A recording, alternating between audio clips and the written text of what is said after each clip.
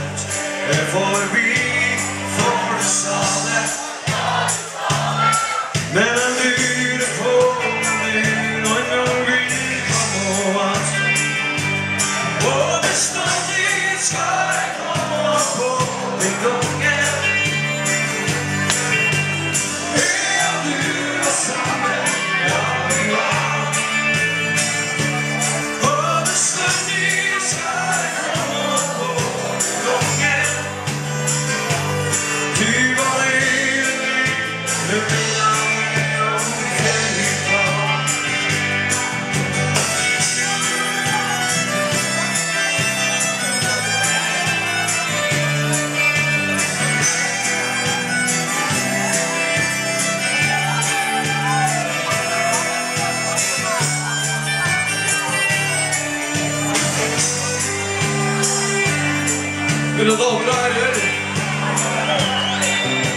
Har dere hatt det bra i kveld?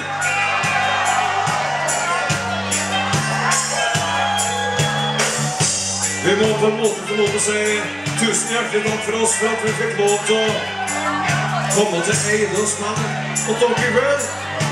Vi håper at dere får en panserhelg, og at vi får tid til å dere i morgen kanskje, kanskje en kaffeskål i morgen. Mine damer og herrer, sier gubba